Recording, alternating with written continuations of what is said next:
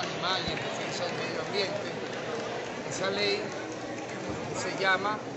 en lo concreto, una ley contra el maltrato animal y de protección al medio ambiente. Pero aparte, vamos a presentar otra, una ley que protege a los toros de Lidia para que en Venezuela esta herencia para mi opinión y para la investigación que cualquiera pueda hacer del colonialismo español, porque eso no es así, de que es una tradición venezolana, no lo es. Históricamente está comprobado, eso viene de, de, otras culturas, incluso en la propia España ha sido prohibida la corrida de toros en varias ciudades.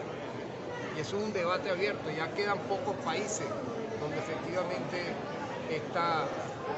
tortura animal existe. Yo he dado una opinión, Venezuela es un país democrático, hay un debate y bueno, estamos dando esa batalla de ideas que yo creo que es bien importante, bien interesante y que no tiene ningún viso personal, no es ni, ni a favor ni en contra de tal o cual persona, no, tiene que ver con la defensa de la vida. Yo siento que el espectáculo de ver a un toro de lidia en medio de una plaza, solitario, siendo poco a poco macheteado, acuchillado, con toda la desventaja del caso, y luego brutalmente tasajeado, es un hecho que no tiene nada que ver ni con la tradición, ni con la cultura, ni con él. Que